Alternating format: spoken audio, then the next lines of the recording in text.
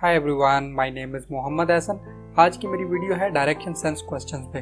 तो ये video specifically उन स्टूडेंट्स के लिए जो अभी रिसेंटली पाकिस्तान नेवी या एयरफोर्स का एग्ज़ाम अटेम्प्ट करने वाले हैं। तो इसमें मैं पाँच क्वेश्चंस को सॉल्व करूँगा। उसमें तकरीबन आपको तीन से चार ट्रिक्स बताऊँगा। तो उन ट्रिक्स की मदद से आप कोई भी डायरेक्शन सेंस का क्वेश्चन आसानी से सॉल्व कर सकते हैं। Let's start Hey there. Subscribe to my channel. And also press this bell icon, so you never miss any new updates. ये देखें कि ये आपके पास नॉर्थ ईस्ट साउथ और वेस्ट की डायरेक्शंस आपको बता रहा है इसमें सबसे पहला ट्रिक कि जब भी आपने एग्ज़ाम के अंदर बैठना है, वहाँ पे आपने अपने फेस बिल्कुल ईस्ट की तरफ़ अपने आप को शो करवाना है कि मेरा जो फेस है वो ईस्ट की तरफ़ है उससे क्या होगा कि आपको कोई कंफ्यूजन नहीं होगी डायरेक्शंस की तो आपके जो बिल्कुल फ्रंट पे होगा वो ईस्ट होगा, बैक साइड पे वेस्ट है, बाएँ साइड पे नॉर्थ है और दाएँ साइड साउथ आता है। तो इसमें कुछ दरमियान वाली डायरेक्शन है। फॉर एग्ज़ाम्पल जैसे नॉर्थ और ईस्ट के दरमियान है तो आपकी नॉर्थ ईस्ट होगी, क्योंकि कभी कभार क्वेश्चन के अंदर आपको दरमियान में ला के खड़ा कर देगा। उसमें क्या होगा कि आपको फिर डायरेक्शन दरमियान वाली फाइंड आउट करनी है। तो ये था डायरेक्शन का। सेकेंड ये क्लॉकवाइज और एंटी क्लॉकवाइज डायरेक्शंस हैं। इसमें क्या होता है कि बहुत से क्वेश्चंस में ज़ीरो के पॉइंट पे स्टार्ट करवाया है तो हो सकता है वो आपको कहे कि आप 90 डिग्री घूमने के बाद कौन सी डायरेक्शन पे खड़े हैं। तो इस वजह से आपको इन दोनों का कॉन्सेप्ट होना बहुत ज़्यादा ज़रूरी है। अब इसमें तीन तरह के क्वेश्चन आपको एग्ज़ाम के अंदर दिए जाते हैं। नंबर वन डायरेक्ट आपको डायरेक्शन का क्वेश्चन दे देगा। सेकंड आपको एंगल वाइज घुमाने के बाद बताएगा कि किस आप पोजीशन में खड़े हैं। थर्ड पे आपका क्लॉक वाइज पूछ सकते हैं। क्वेश्चन नंबर वन में देखें a man is facing west यहाँ पे खड़ा है एक आदमी और यहाँ से वो कहता है he turn 45 degree in the clockwise direction यहाँ से क्लॉक वाइज उसने 45 डिग्री मूव किया 45 degree and then another 180 degree in the same direction आप इसी सेम डायरेक्शन में यहाँ से उसने 180 डिग्री किया। ये 45 यहाँ तक बन गया 90 डिग्री यहाँ तक गया और यहाँ से आगे 45 डिग्री यहाँ तक। अब ये देखे 45, 45, 90 और 90 180 हो गया।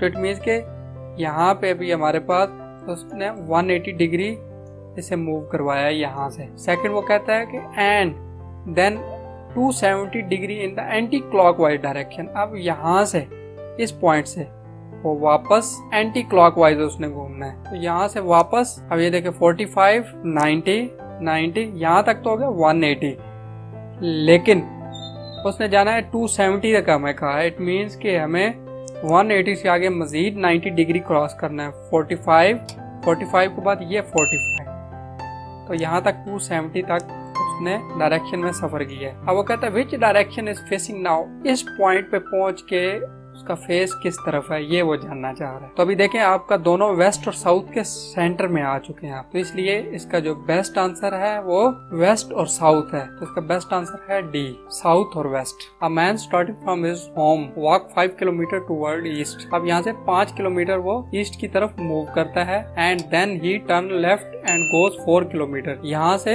वो लेफ़्ट हो गया और उसने चार किलोमीटर का सफ़र तय किया। At least he turn to his left अब यहाँ से फिर उसने लेफ़्ट हो गया और लेफ़्ट होने के बाद कितना किया? पाँच किलोमीटर का उसने फिर सफ़र किया। Now find the distance between the man and his home अब इसमें दो चीज़ें पूछते हैं। नंबर वन डिस्टेंस भी पूछ रहा है। सेकंड वो कहता है कि डायरेक्शन कौन सी है? डिस्टेंस भी बताना है और डायरेक्शन भी बतानी है। आप ये देखें कि फाइव किलोमीटर वो इस तरफ़ गया और वापस फाइव किलोमीटर आ गया। तो ये दो आपने डिस्टेंस काउंट नहीं करने हैं।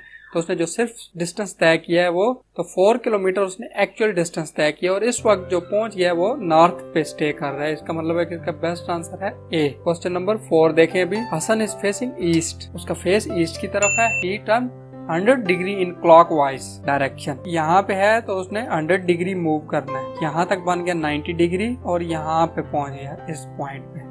Clockwise direction and the 145 degree in anti clockwise यहाँ से वापस एंटी क्लॉकवाइज डायरेक्शन में अब उसने मूव करना है। यहाँ तक 100 हो गया। 100 से आगे 45 डिग्री उसने यहाँ से मूव करना है। 45 डिग्री ऑलमोस्ट यहाँ पे बनेगा। तो उसका जो फेस है वो नॉर्थ की तरफ़ है। उसका बेस्ट आंसर है C Alim walking 20 kilometre north अब यहाँ से उसने 20 किलोमीटर नॉर्थ की तरफ़ चला। He turn right and walk 30 metre यहाँ से राइट हो गया और इसने 30 मीटर का सफ़र किया। Now he turn right and walk 35 metre यहाँ से 35 मीटर क्योंकि 20 यहाँ तक बनता था। हमने 15 आगे लेके चले गए। Turn left turning left he walk 15 metre यहाँ से इसने लेफ़्ट ले लिया और 15 मीटर डिस्टेंस इसने किया।